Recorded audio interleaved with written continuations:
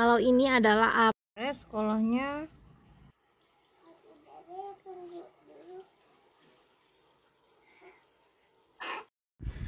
Halo, Assalamualaikum sahabat berkebun. Video kali ini langsung aja aku mau update. Ada semayan apa aja nih yang udah aku tanam? Akan aku update karena beberapa ada yang minta update-nya di Instagram Sebelumnya aku mohon maaf ya Kalau suaranya itu kurang maksimal Karena di atas ini tuh anginnya gede banget. Jadi suaranya tuh kadang jadi hilang-hilangan. Sebelum update Ini aku mau kasih makan ikan dulu ya. Nah ini tuh ikan moli sama ikan uh, gapi. Jadi ini tuh baru ya jadi sekitar seminggu yang lalu tuh iseng bikin kolam. Jadi di kebun atas itu enak banget ada suara airnya. Pakai pompa mini kayak gini. Ini harganya cuma 40 ribuan pompanya di Shopee. Terus ini kolamnya pakai bak. Ini bak plastik dari mertua kemarin nemu terus aku bersihin lagi terus diisi air dan jadilah kayak gini nah kalau untuk ini untuk tanamannya ini tuh tanaman air namanya tanaman apu-apu ya dia sekaligus untuk menyerap racun dan menjernihkan air. Kemarin sempat ada yang tanya juga di Instagram kalau untuk ikan moli sama ikan gapi apakah harus pakai filter air? Maksudnya pakai ini ya. Menurut pengalaman aku ya, pendek pengalaman aku, tujuh hari yang lalu karena pompanya itu belum aku beli, jadi selama tujuh hari itu tanpa pompa kan tanpa filter itu sih aman-aman aja ya belum ada yang mati tapi untuk lebih jauhnya sahabat bisa searching-searching sendiri ya. Karena takutnya aku salah. Terus untuk ini tanaman airnya. Tanaman airnya ini aku beli di pasar ikan. Jadi dia itu kayak gini bentukannya. Ada akarnya. Kemarin banyak yang nanya ini sama nggak sama eceng gondok? E, untuk jenisnya sih beda ya tapi untuk fungsinya mungkin sama ya untuk menjernihkan air sama menyerap e, amonia. Lalu untuk yang di bawah itu ini aku beli e, karang ya pakai karang batu-batu karang gini. Tuh biar untuk jadi e, berlindung nanti kalau ikannya e, melahirkan. Melahirkan sih? Maksudnya beranak ya? Oke lanjut ya kita mau update uh, kebun. Di samping kolam ini udah langsung ada ini bibit-bibit anggur. Tapi sebelum update anggur aku mau update dulu uh, hasil semayan. Nah ini dia. Semayannya beberapa udah aku pindah tanam. Kita lihat dulu ya di sini ada apa. Ini ada ini ada tagnya ya selada hijau. Ini usianya kurang lebih 8 hari. Lalu ini ini lucu banget nih. Ini adalah selada red red romaine selada merah ya. Selada merah romaine sama ini usianya 8 hari. Lalu ini ada selada kris selada kris yang hijau. Untuk selada nanti insya Allah akan aku buatin video khususnya. Gimana caranya tanam selada dari biji sampai panen ya. Mudah-mudahan ini lancar sampai panen. Tapi e, menurut aku ya kalau selada itu cocoknya ditanam di dataran menengah sampai tinggi. Karena kalau di dataran rendah yang terlalu panas itu nanti ngaruh ke rasa.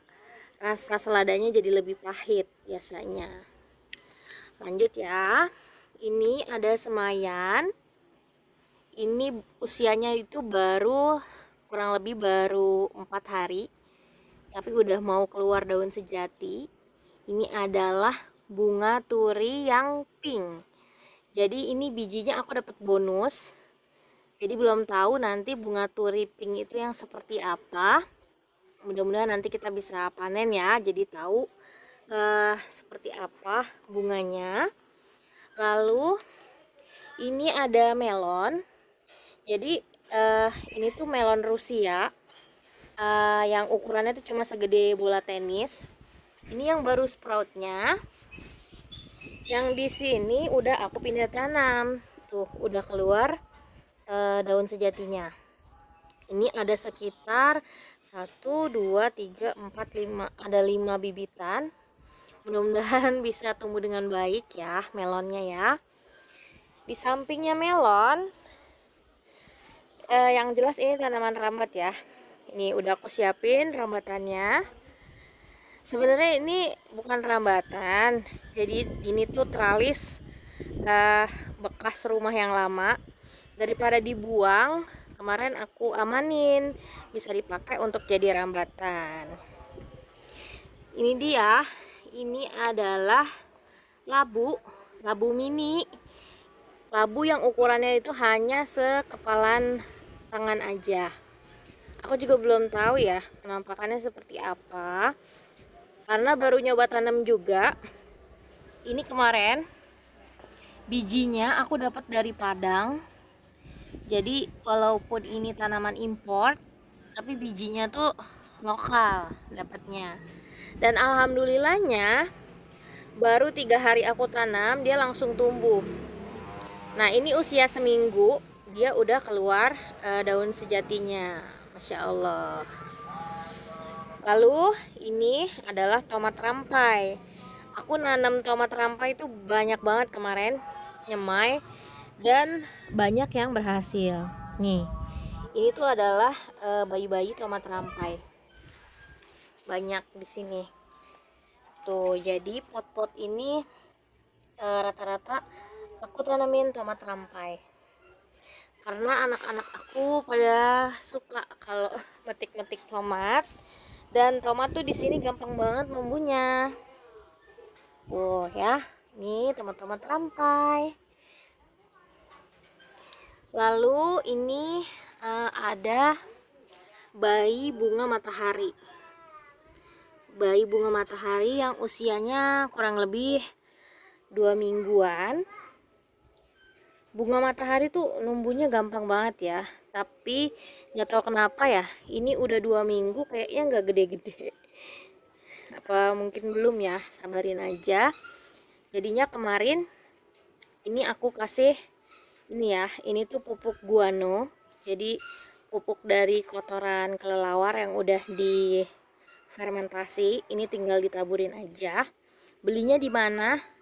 Di toko oren banyak di toko hijau juga banyak ya. Lalu untuk update uh, pohon anggur nih dia udah makin tinggi. Dan kemarin itu aku ilangin tunas-tunas yang ada di uh, ketiak-ketiak uh, batangnya seperti ini.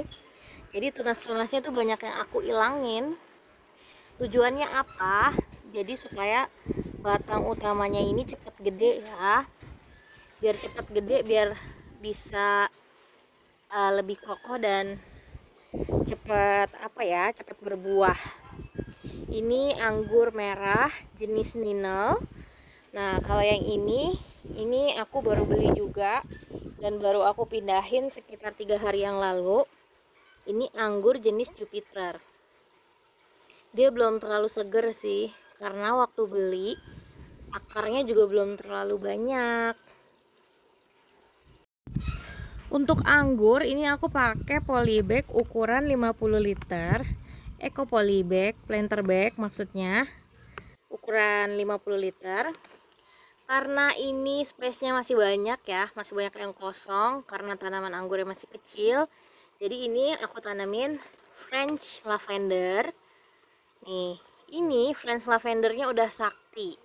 Kenapa udah sakti? Karena udah aku treatment full sun dan dia kelihatannya udah mulai kuat ya karena nggak ada gejala-gejala uh, layu-layu karena lavender ini susah-susah gampang ya biasanya kalau suhu lebih dari 30 derajat lavender itu gampang uh, meleho ya gampangan mati tapi ini kemarin aku latih pelan-pelan kenali sinar matahari mudah-mudahan dia bisa betah dan sampai berbunga Nah, hari ini hari ini mau nyemai lagi selada merah sama ini ada benih e, cabe, cabe rawit yang putih.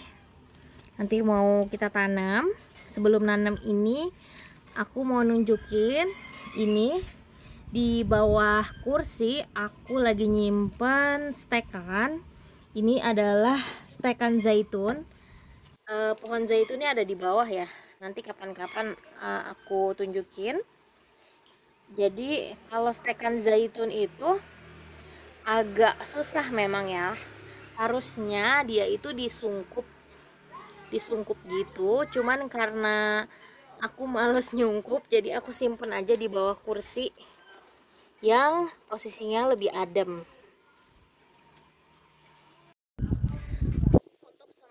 Sebenarnya ada banyak cara ya. Cuma untuk cara yang paling simpelnya ya gini aja ditaburin.